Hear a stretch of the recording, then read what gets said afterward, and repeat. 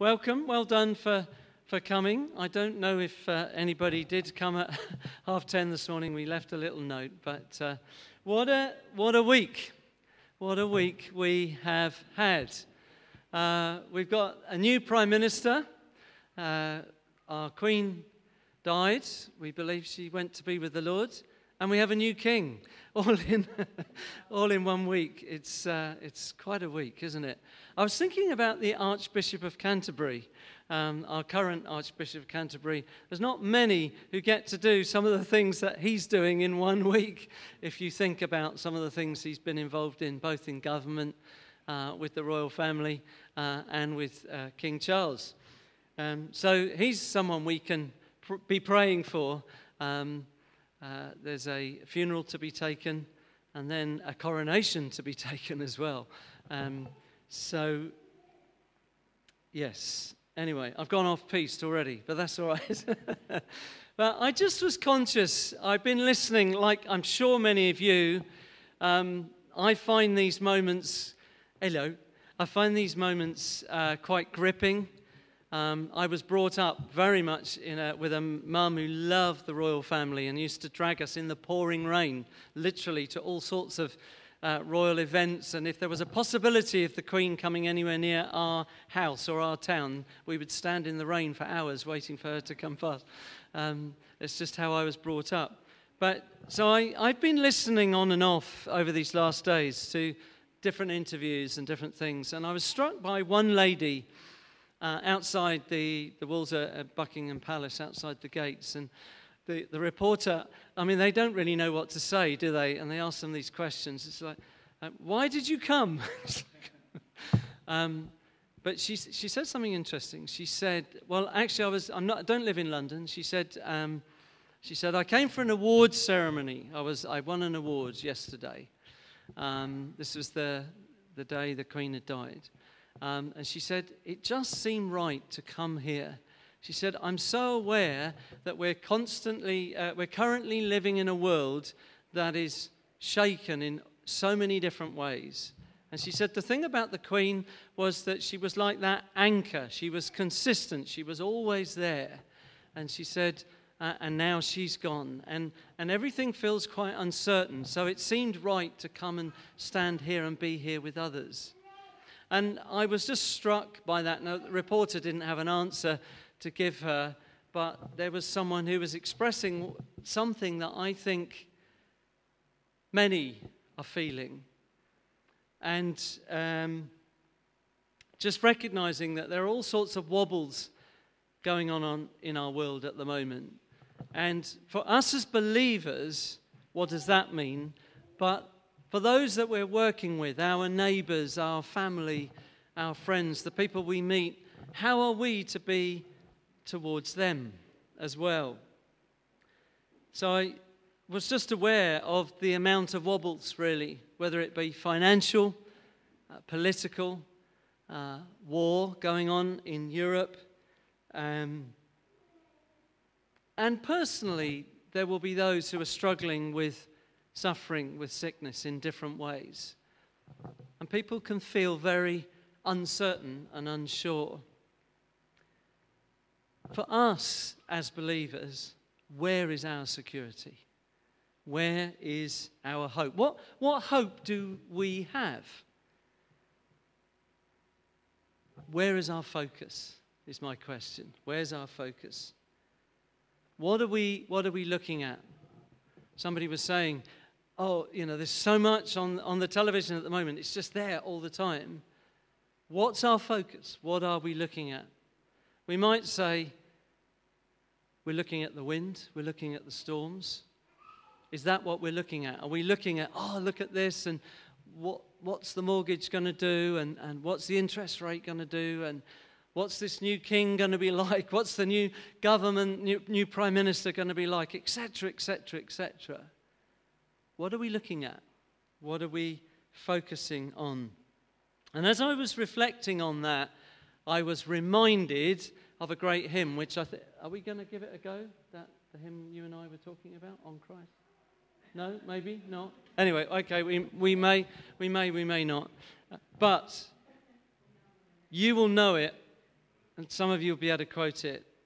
My hope is built on nothing less than Jesus' blood and righteousness. And there's an interesting phrase. It's an old fashioned, we've heard quite a lot of old fashioned language this week if you've been watching any of the telly. I dare not trust the sweetest frame. What, what, what does that mean? Well, I dare not trust anything, however good it might look, that to lean on. A frame is something that it frames a picture, yes, but it, it's also a door frame, something that's solid. I dare not trust the sweetest frame. There's lots of things that are being offered, there's lots of op- options. But the hymn writer says, I dare not trust the sweetest frame. However good it looks, it has the potential to break, it has the potential to fall down. But wholly lean on Jesus' name. On Christ, the solid rock I stand. And here again was a, was a quote.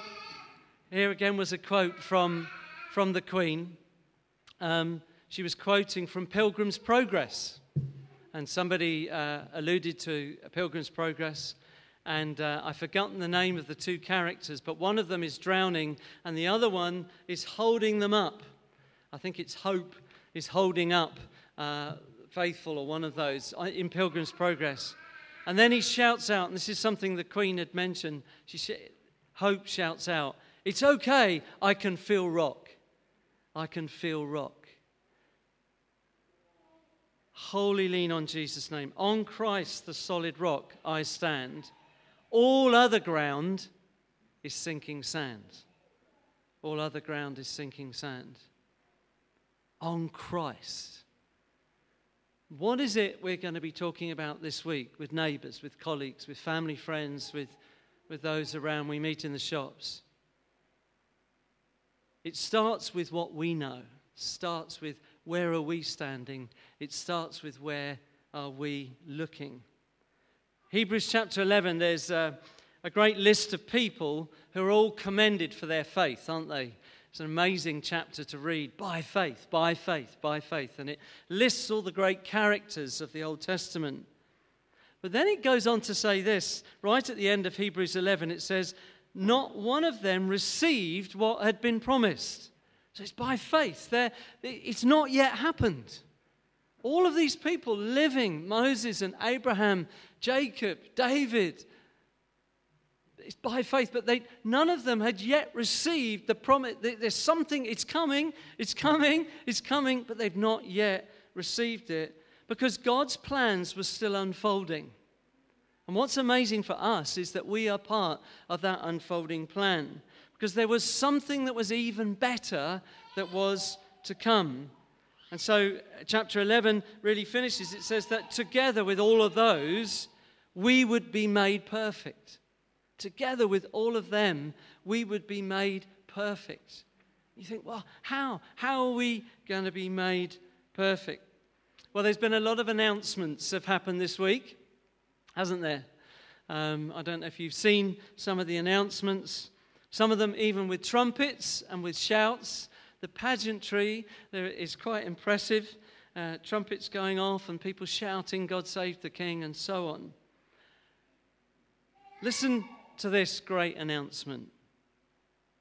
There were shepherds living out in the fields nearby, keeping watch over their flocks at night.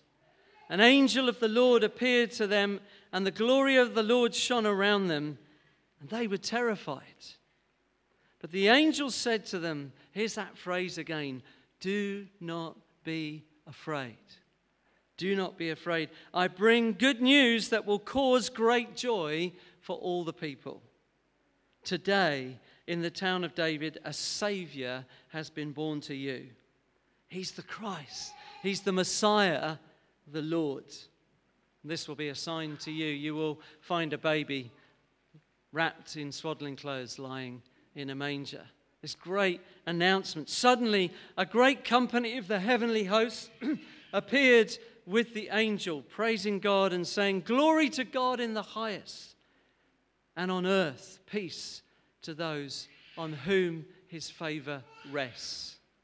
There is a favor that comes directly from the throne of heaven. There is a favor that comes to his people. There's a declaration. There is a Savior. There is hope. There is a rock. There is a Messiah.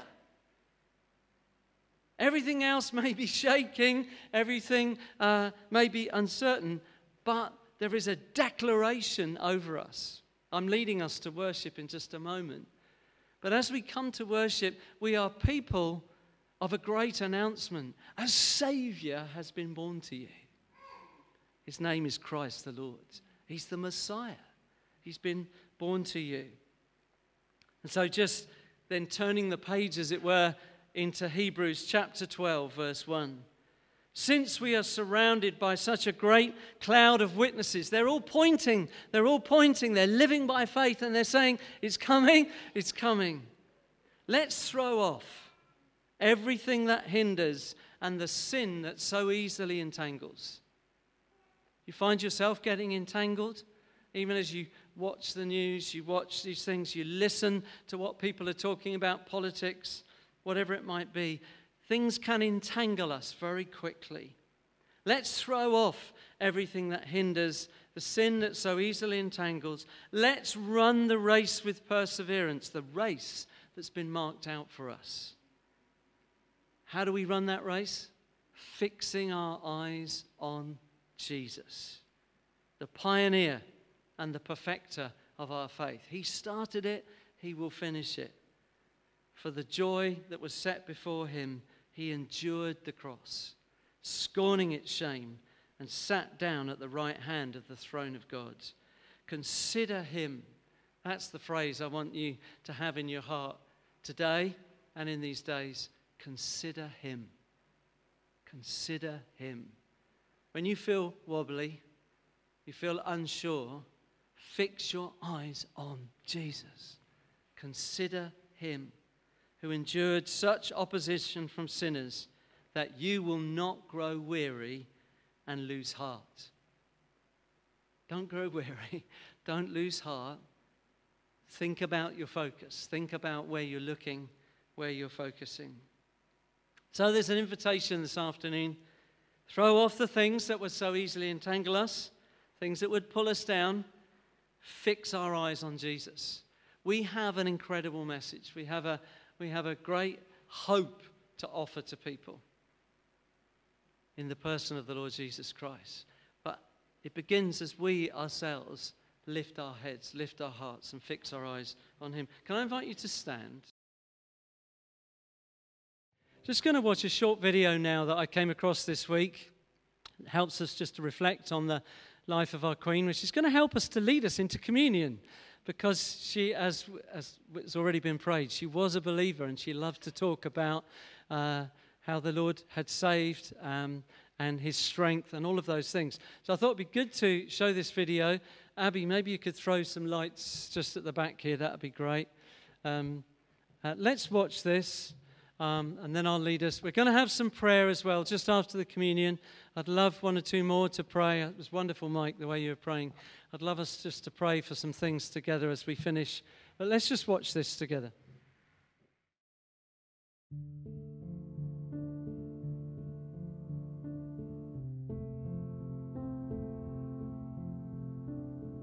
It's with profound sadness, but also great thankfulness that we remember Her Majesty Queen Elizabeth II, who served so faithfully. As Britain's longest reigning monarch, the majority of us have never known a time when Queen Elizabeth II has not been on the throne. She has been a constant presence in an ever changing world. When she was 10, her uncle, King Edward VIII, abdicated, and her father became King George VI. In 1947, the Queen married Prince Philip, the Duke of Edinburgh, and they were married for 73 years. The Queen had four children, eight grandchildren, and 12 great grandchildren. She saw many prime ministers come and go.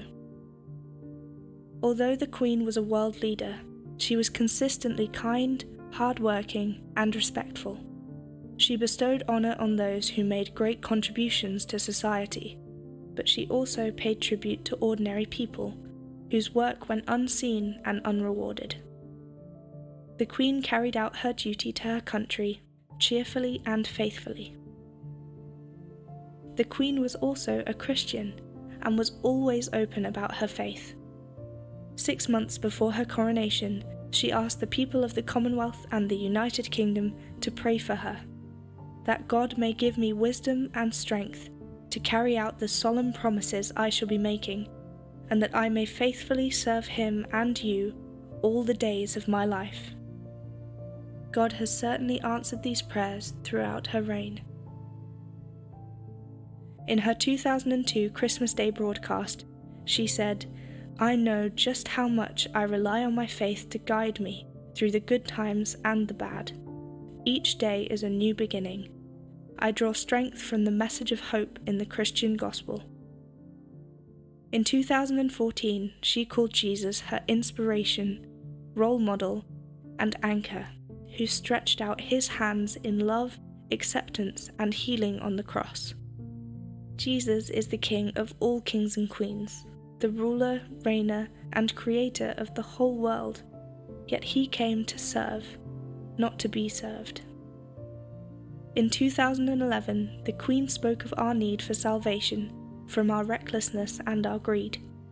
She said, God sent into the world a unique person, neither a philosopher nor a general, important though they are, but a saviour with the power to forgive. We will forever be humbled and inspired by her determination to dedicate her life to her throne, her people, and her God. We honour her for her years of service devoted to both her country and God, and we thank Jesus, the King of all, for our Queen who served her King.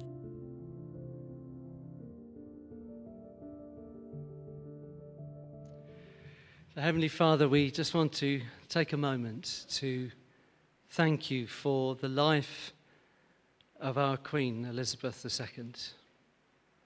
We want to thank you for her faithful service. In a few moments, we will pray for her family.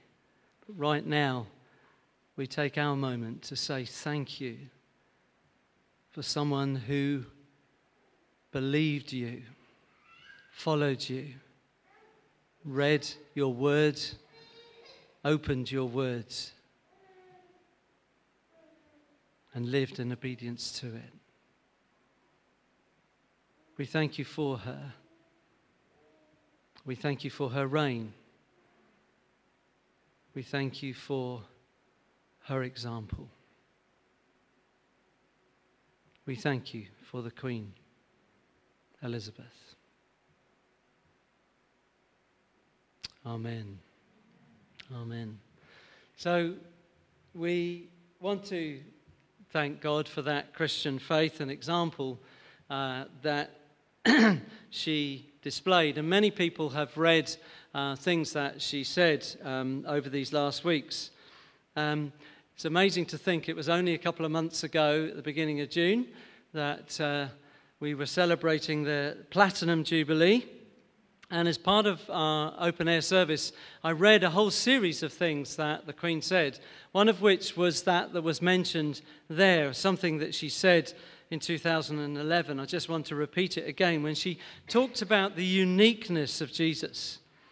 Um, although we are capable of great acts of kindness, history teaches us that we need saving from ourselves, our recklessness, and our greed. God sent into the world a unique person neither a philosopher nor a general, important as though they are, but a savior with the power to forgive.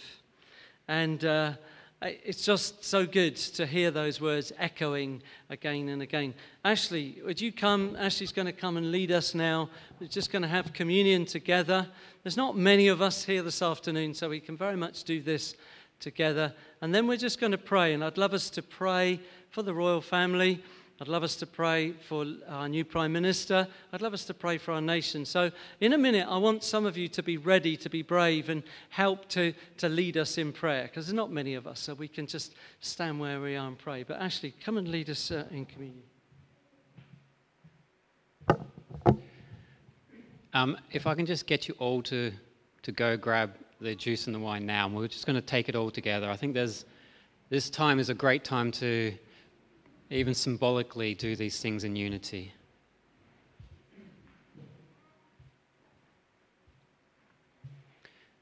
Let me just read from 1 Corinthians. The Lord Jesus, on the night when he was betrayed, took bread, and when he had given thanks, he broke it and said, This is my body, which is for you. Do this in remembrance of me.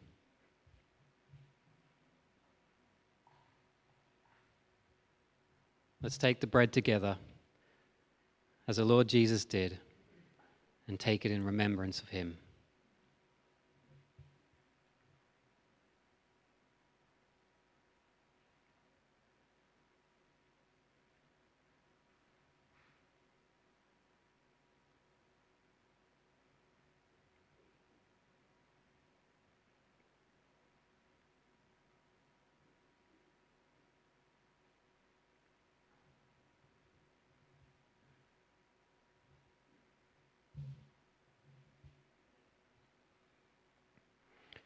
In the same way, also, he took the cup after supper, saying, This cup is the new covenant in my blood.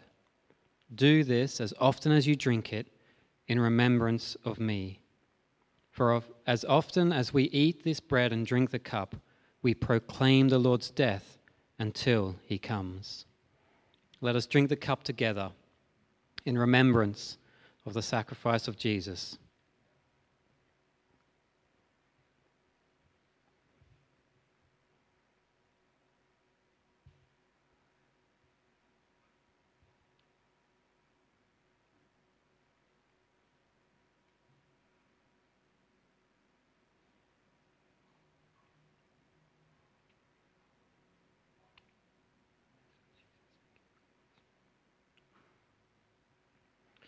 Lord Jesus, we thank you that we have this opportunity together as your people, as your family, as your expression of your uh, deity through your people here on earth in Cowes.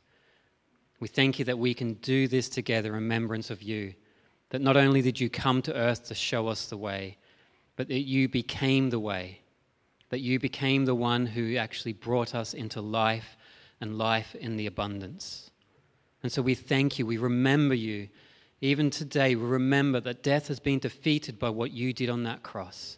We remember today that the story has not ended. We do not remember a story that finished. We remember a story that is yet to be concluded. And we know the last page. We've read the end. The king shall return, and he will come back, and he will wrap this all up, and he will present a perfect kingdom to the Father and he will hand it over and say, I have completed the kingdom, Father. And the Father will say, Here is your bride. Let us feast together, the bride and the groom. So we look to you for what you have done. We look what you are doing now, and we look to the future, the glorification of our Christ. Amen.